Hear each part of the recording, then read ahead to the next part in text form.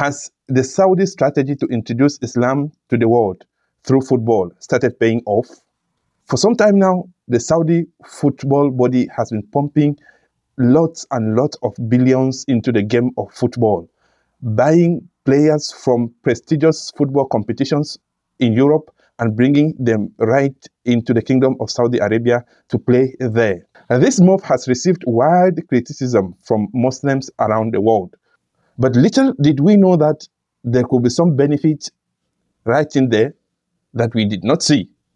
The worst we will do is to sit in our comfort zone, doing nothing at all, but criticizing the least any other person is doing to improve the da'wah to the religion of Islam among such players bought with huge sums of money from Europe to play in Saudi Arabia is Robert Bauer, a German player bought to Saudi Al-Tai Football Club. As I speak to you right now, he has converted to Islam.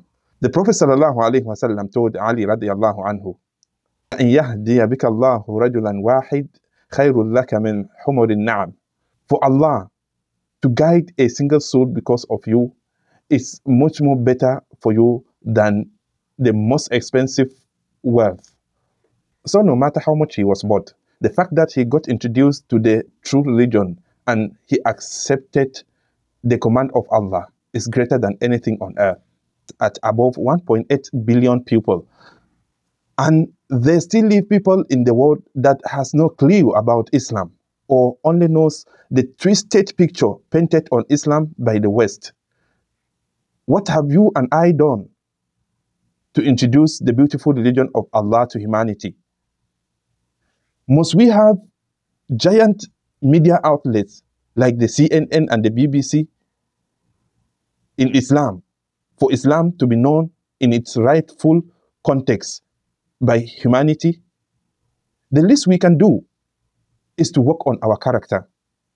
Remember, when Aisha radiallahu anha was asked about the character of the Prophet, she said he was a walking Quran, meaning all of his actions, everything he did was just exactly what Allah prescribed for him in the Holy Quran. We still have the Quran in our own hands. Let's better our lives, let's better our character, so that others will not only need to read the Quran to know Islam, let them read us and know the Quran instead. In that way, we will sell out the purest picture of Islam to humanity and we will dominate the bad image painted by the enemies of Islam on the minds of people who knows nothing about Islam. So the end of the matter is this. Do your best to show the real picture of Islam and oppose the bad picture painted by the enemies of Islam. There are still tens of others in the Kingdom of Saudi Arabia like Robert Bauer, who by the grace of Allah will be guided to the religion of Islam because Saudi Arabia did their own best to introduce Islam to them. You can also watch uh, this our video about the pastor's son who embraced Islam against his own father's wish.